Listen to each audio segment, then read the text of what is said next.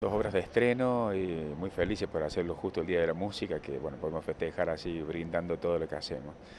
Eh, con esto cerramos el ciclo de la orquesta en tu barrio, eh, que precisamente en el centro y en el, y en el ámbito tan magnífico de la catedral. Y bueno, la semana que viene llevamos a Rosario de Lerma, donde cerramos también todo el capítulo de las giras al interior.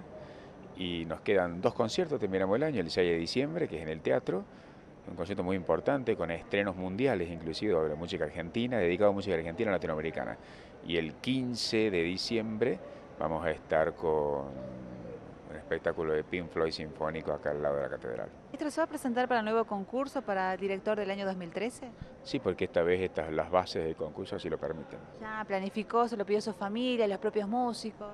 Pero una, una decisión eh, personal, porque aparte si se dan las las condiciones para hacerlo. En los anteriores convocatorios no se daban, porque exigían, el principal obstáculo era que exigían cinco años de, como director titular ininterrumpido y ahora en el, concurso pasado eso se bajó a temporadas consecutivas y ahora son temporadas discontinuas, igual como en el caso del ballet en el concurso del, del, ballet.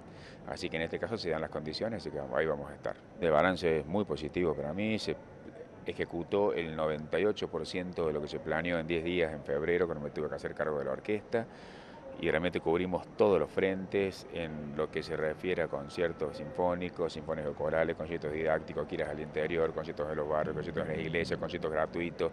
Inauguramos una temporada lírica con dos óperas, dos ballets, una zarzuela, o sea, más.